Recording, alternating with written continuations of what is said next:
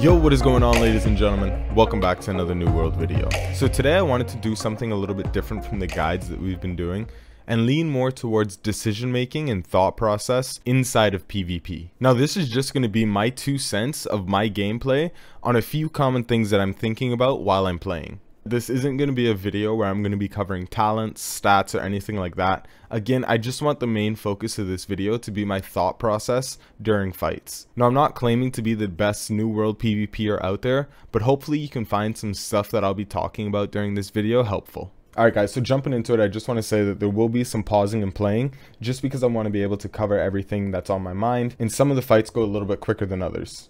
Alright, so before we jump into this first clip, I kind of want to set up the scene so you guys know what's going on. I was out questing, and I had two guys show up. I didn't know how many there were. I saw two. I was thinking there could be more. One of them started shooting a fire staff at me. I immediately realized I'm not recording. So I started running, got my OBS up, and that's where this video takes off from. So as you can see, I'm using that rapier mobility, I'm just trying to get away, create distance. I'm holding alt, I turn around and I see that they're still chasing. Now something that I like to do with range is I don't always like to hold alt and turn around and watch where they're going to be just because I feel like I can dodge better and have a little bit better movement if I'm not looking behind me. So something I'll typically do with range is I'll just turn around and try to shoot out an evade shot. So that's what I do here. I land and I kind of see where they are in positioning. So I'm going to load a penetrating shot here and I actually get a nice headshot. Now, if we rewind this, so the first thing that goes through my head when I hit this is I see that damage and I see his life absolutely get chunked. Now this kind of signals one thing inside of my mind. I really need to figure out how many of them there are. You can see there's kind of just a cluster of everything from mobs behind them. There's some unflagged people but I really want to take this fight. I know from the amount of damage that I just did to this guy, he's in light gear. So as long as I set myself up correctly and I hit my shots, I don't choke, I can definitely kill this guy. So this is a fight I really want to take. It's just about getting myself in that right positioning and in the right moments. Because again, as of right now, I don't know how many I'm hitting. So I hit that shot and I turn around, try to get another shot in with my poison shot. Unfortunately, it missed. I set my camp spawn there. I'm still using that rapier mobility and I turn around here. Now, the reason I immediately turn is because one, my camp is right there, but I also want to now see how many of them there are. And you can really see, I start to figure it out. There's two of them. These are all ads. There is an unflagged guy, so I'm not too worried. So I immediately notice as I'm shooting this guy, that guy started putting up a heal because his life went up. So not only am I fighting a fire staff, I'm also fighting a life staff. So I'm still trying to kite it out, just keep distance because I don't know what the secondary is for this life staff guy. And he's pushing into me. So I'm assuming it's either going to be a melee weapon or maybe something like an ice gauntlet. And he wants to try to CC me. So as you can see though, my focus has now shifted from this guy towards the healer. I know I can definitely kill this guy, but it's going to be more effective for me to try to target the healer and kill him to not have to worry about setting up all of my damage and dumping it into this guy. And then the healer, of course, being completely free and just tops him because he goes in a safe spot. So I turn and I hit my penetrating shot there on him. And now I'm just keeping distance between the healer and myself. I'm just kiting down the mountain. So right here, I'm going to throw up another evade shot just to kind of get a look of where they are. I don't want to hold alt. So now I see an ice gauntlet. I use that evade, bump out of there, and I'm just trying to kite out and create distance. So at this moment, while I'm kiting down, I'm kind of trying to think of the scenarios that I need to put myself in to win this. And there's really two things that are coming into my mind.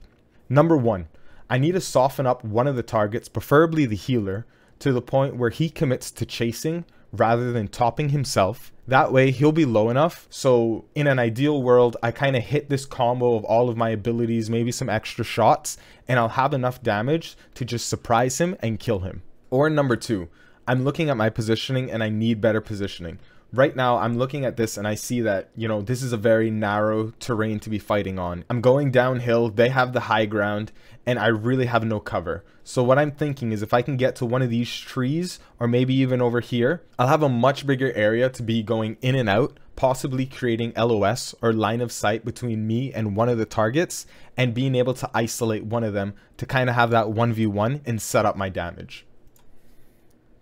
So as we continue, I'm just going side to side. I'm not just going in a straight line to be an easy target for them to hit.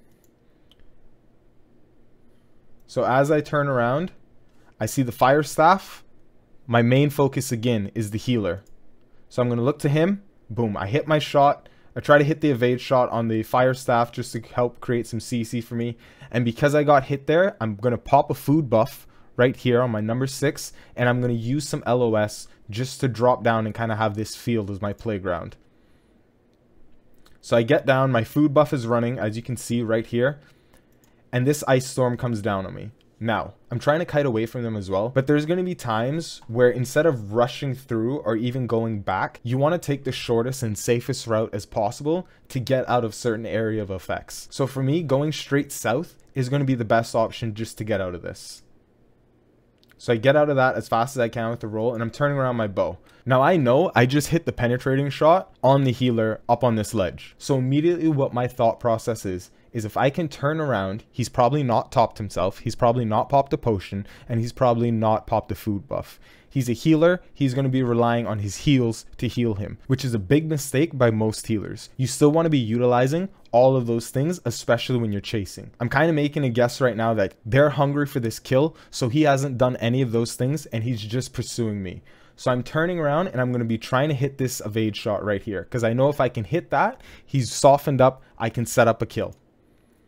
So I turn around, I hit the evade shot directly into a poison shot, into a penetrating shot. The poison ticks, I kill him, and I get the finish. I want to go back and kind of break that down really quickly because there's one very important thing that I want to point out. Now, in one of my previous videos that I did, I was talking about the bow and how I personally like to use penetrating shot to set up my poison shot for direct hits. Now, in this situation though, I'm a huge fan again of range being able to just turn around and hit that evade shot kind of as a no looker. It does take a little bit of practice, but once you start doing it and you get used to it, I promise you it's very rewarding. So I hit my penetrating shot and he gets staggered for a second. This gives me enough time to load up my poison shot. Now, I'm going for that direct hit on poison shot. If I did not get that direct hit, that 700 damage, he would not have died as fast as he did. I could have shot that poison arrow right here to split the difference between the two of them and possibly poison both of them, but that's not my focus. I need to put all of my damage specifically at one target to kill him. Now, the reason that I didn't do my penetrating shot first is because when we're talking about maximizing DPS, I want that poison to be ticking for as long as possible, which means I need to get it out before the penetrating shot. So as you can see, I already have one tick of the poison I'll load up my penetrating, and the poison tick is actually what kills him. I take another basic shot, I get the finish, and now I'm on to the 1v1. Now, I'm not going to lie here. I do play on a low camera sensitivity, and I didn't swing my mouse fast enough. I was kind of hyped that I just picked him off. I'm feeling pretty good about this 1v1 that I'm now going to have. So I pull out the rapier. He's right in melee range, but unfortunately, I don't swing my camera fast enough. I start left click mouse spamming, and I choke, but it's all right. So now I'm just going to be swapping back to my bow. And I actually noticed that he's actually running away. Why is that? Well, he had a 2v1 and now it's a 1v1, so he's probably a little bit scared. So unfortunately, I missed my penetrating shot there, but I'm going to pursue this guy because I feel confident. I know that he's scared, but I still want to keep my distance. I'm not running straight up to him. If you go back to this and look at exactly what I did, where did I go? I didn't just run straight at him with the rapier. I went and I'm trying to utilize some of these trees in between. I'm rolling just so I can actually get some damage. I got one hit there. I'm missing a couple of shots, but that's okay. This is unfortunate. I actually get stuck right there with my Fleche on top of a rock. If we go back and look at this really quickly. I kind of went nowhere, but it's all right. If I had gotten the space, I think I'd have been just a little bit closer that he would have actually been in melee range to use this rapier but he hits the ice storm, so I try to get out of it as fast as I can. I see the ice shower, so I'm committing, you know what? I'm done with the rapier. I just need to go to the bow. I'm having more success with it than melee, so I'm just swapping back to this. So pulling it back, I try to get that evade shot. I miss. I immediately go into the penetrating shot, and I hit that. Now playing that back, you know, I'm not quite sure if that was actually a headshot, or whether it was a body shot that I hit and it just happened to crit with penetrating shot, but he gets absolutely chunked. So it's a little difficult to see, but I'm shooting through the poison here and I realize, oh, he's an ice block. That's all right. I'm going to pop another food buff, make sure I'm getting my heals up, and I'm going to load a heavy shot. Boom, I get the kill. Now, that is one thing that I would suggest if you're actually playing Ice Gauntlet. As soon as you exit your ice block, you need to be using your roll to avoid this situation happening right here. He stood still, gave me a free headshot, and I just killed him. But I'm not complaining because I set myself up for a nice 1v2. I executed my game plan, and personally, I think this was a lot better and much cleaner than the other 1v2 that I have up with the bow spear, just because, again, I've been playing a lot more, so my aim is obviously going to be improving along with my game sense. Alright guys, so that's it for all the clips that we're going to cover today, but I kind of wanted to have a little bit of a discussion on something that I mentioned in my last video. So my last video that I did, if you're unaware, was an ultimate rapier build slash guide, so if you haven't seen that, I'll have it linked at the end of the video that you can go check it out. But at the end, I mentioned that, you know, I felt world PvP was dying. It was getting harder and harder for me to find it, but I kind of want to focus in on what I meant by that. So as you can see in the footage in the back, I find people that are flagged all the time. They're mostly doing crap like running portals. But the problem there is, you know, it's me versus 20 people. So I'm going to laugh about it and be cheap and just, you know, stay in the back with a musket and just pick people off for free weapon XP. But there's really no way for me to just run in there solo and, you know, take out as many as I can maybe if I get lucky and I have, you know, the one straggler who sees me actually fighting and runs out and doesn't tell the group and I can take a 1v1, but so far that has basically never happened. So while this runs in the background, I kind of want to give my two cents on the, the topic. You know, I feel like there's no real incentive to have PvP on at endgame. You know, when the game first dropped in, my server had a queue of like 3,500 people. World PvP was everywhere. Like, I, I mean, it was great. A lot of the footage that I have is, you know, footage that I don't consider to be great, but I felt like I was getting in a lot of fights, which helped me practice and become better at PvP, having that break between beta and the game actually dropping. Leveling up with PvP on, I'm pretty sure you get like a 10% experience boost, so you have some incentive to actually turn it on, especially if you're going for max level as fast as you can. Versus now when we're at level 60, you know, there's really not anything to have it on for. The only thing that I can say, you know, having PvP on provides you is you have the ability to go capture a fort and you get the fort benefits for your faction while you're inside that territory. But then, of course, you know, depending where you go, you're just going to have a plague of that color, whoever owns the territory, just come in and basically demolish you. Which, you know, I have no problem being outnumbered, you know, depending on the day, what setup I'm running, how I feel with my aim, I'm more than comfortable to do, you know, 1v1s, 1v2s, even 1v3s, depending on the terrain and, you know, the skill of the people, possibly a 1v4,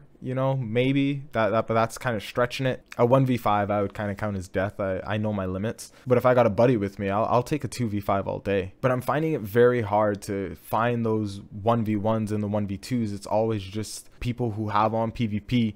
They're usually just running in these mass groups of people. But if I really want PvP, you know, I'll try to get someone to go with me. Most of the time, I know I'm going to be outnumbered, but I should be able to get in a couple of fights. I feel comfortable that it's at least winnable until, you know, a sea of that faction shows up and you're just completely outnumbered. You know, it's something like 2 to 11 and it's at that point it's just you got to run away i play on the east coast and you know I've, I've talked to a couple of friends that play out on the west coast and you know they, they've said to me you know their server is still pretty solid for pvp so I want to know what you guys personally think. How's your server holding up? Are you finding those small PvP engagements, you know, those 1v1s, you know, the the 2v2s, maybe the 3v3s?